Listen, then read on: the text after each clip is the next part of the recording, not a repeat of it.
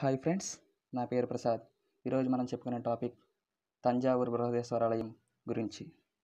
తంజావూరు బృహదేశ్వర ఆలయం పేరు అందరికీ తెలిసే ఉంటుంది. కానీ తంజావూరు బృహదేశ్వర ఆలయం యొక్క చరిత్ర అందరికీ తెలియదు. చరిత్ర అంటే ఆలయాన్ని ఎవరు నిర్మించారు ఎప్పుడు నిర్మించారు నిర్మించడానికి గల కారణాలు మరియు ఆలయ నిర్మాణంలో ఏవేవి ఉపయోగించారు అన్నీ ఈ వీడియోలో తెలుసుకుందాం. క్రీస్తు శకం వెయ్యి మరియు వెయ్యి పది సంవత్సరాల మధ్య కాలంలో దక్షిణ భారతదేశంలో మూడు రాజ్యాలు ఉన్నాయి ఒకటి కర్ణాటకను పాలిస్తున్న పశ్చిమ చాళుక్యుల రాజ్యం రెండు ఆంధ్రాను పాలిస్తున్న వేంగి చాళుక్యుల రాజ్యం మూడు తమిళనాడును పాలిస్తున్న చోళుల రాజ్యం. ఇలా మూడు రాజ్యాలు ఉన్నాయి ఆంధ్రాను పాలిస్తున్న వేంగి చాళుక్య రాజుకు పశ్చిమ చాళుక్య రాజులకు నిరంతరం యుద్ధాలు జరిగేవి. ఈ యుద్ధాల కారణంగా వేంగి చాళుక్య రాజ్యం క్షీణించింది.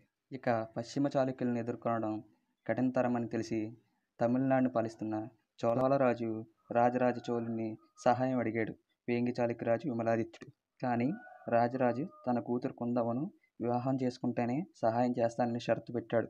వేంగి చాళుక్యరాజు విమలాదిత్యుడు రాజరాజ చోళుని కుమార్తెను వివాహం చేసుకున్నాడు. వివాహం అయిన తర్వాత విమలాదిత్యుడు రాజరాజ చోళుని కుమారుడు రాజేంద్ర చోళుడు ఇద్దరు పశ్చిమ చాళుక్య రాజు మీద దండయాత్ర చేసేసి పశ్చిమ చాళుక్య రాజును ఓడించి వారి రాజ్యంలోని కుప్పలుగా పోసిన సంపదను ముఖ్యంగా బంగారాన్ని విమలాదిత్యుడు రాజేంద్ర చోళ తమ రాజ్యానికి తీసుకెళ్ళారు.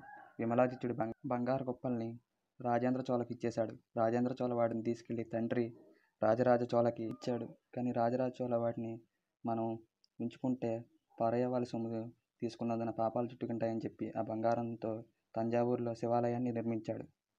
ఆ శివాలయమే నేటి తంజ నేటి తంజావూరు బృహదేశ్వరాలయం. దీనిని రాజరాజ చోళ నిర్మించాడు. దీని ఎత్తు అరవై ఆరు మీటర్లు. ఇది ఆరు అంతస్తులు ఉంటుంది.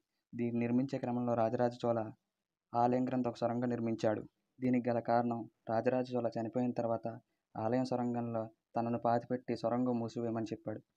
అలా కారణంగా ఆలయ సొరంగంలో రాజరాజ చోళుని పాతిపెట్టి సొరంగం మూసివేశారు. తంజావూరు బృహదేశ్వర ఆలయంలో ఉండే శివలింగం యొక్క ఎత్తు మూడు పాయింట్ ఎనిమిది మీటర్లు. ఇది దాదాపు భారతదేశంలో ఉండే అన్ని శివలింగాల కన్నా ఎత్తైనది. ఈ ఆలయంలో ఉండే నంది యొక్క ఎత్తు రెండు మీటర్లు. ఇది దాదాపుగా ఏకశిలా విగ్రహం. ఇవి తంజావూరు బృహదేశ్వర ఆలయం యొక్క చరిత్ర విశేషాలు. Thanks for watching.